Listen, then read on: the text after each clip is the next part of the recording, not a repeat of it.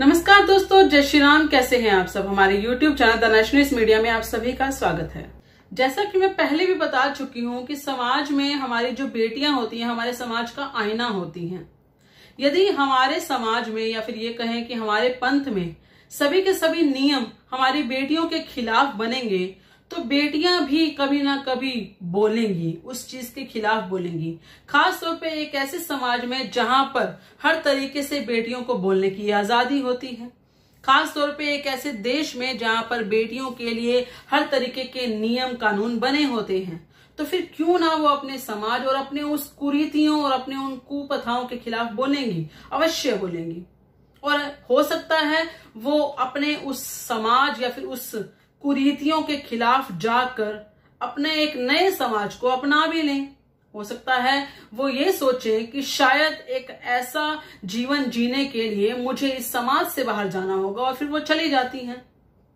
मैं बात कर रही हूँ एक ऐसी लड़की की जिसने एक लड़के से प्रेम किया और क्योंकि उसके समाज में कुछ ऐसी कुप्रथाएँ हैं जो उसे मजबूर करती हैं उन्हीं लड़कियों पर हर तरीके से अत्याचार करने के लिए।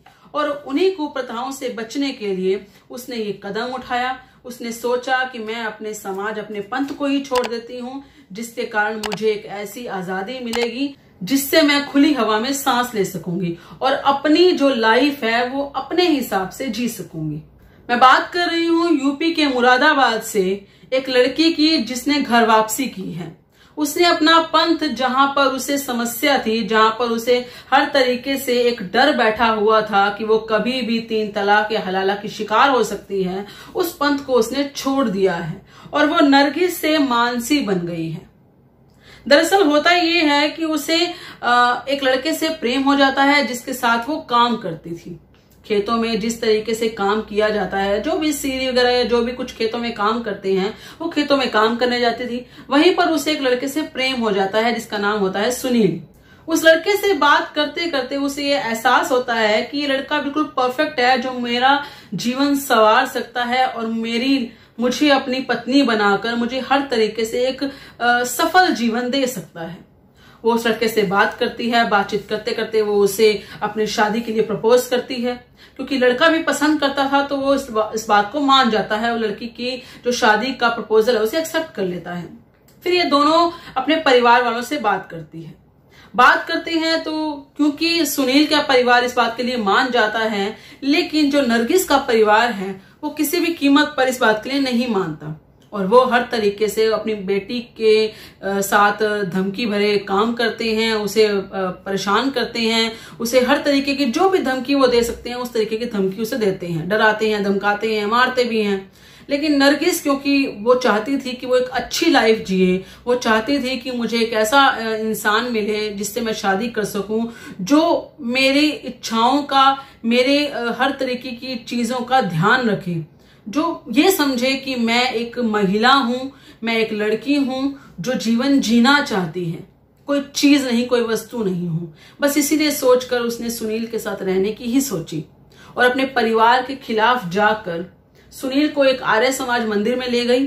वहाँ पर जाकर दोनों ने शादी कर ली। शादी से पहले, क्योंकि नरगिस जो है वो एक मुस्लिम समुदाय से थी तो उसका शुद्धिकरण किया गया।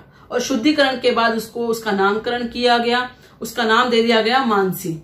उसके बाद दोनों की शादी जिस तरीके से पूरे रीति रिवाज के साथ होनी चाहिए, विधि विधान के साथ होनी चाहिए, उसी विधि विधान के साथ इन दोनों की शादी की गई, इन दोनों का जो विवाह है वो करवाया गया।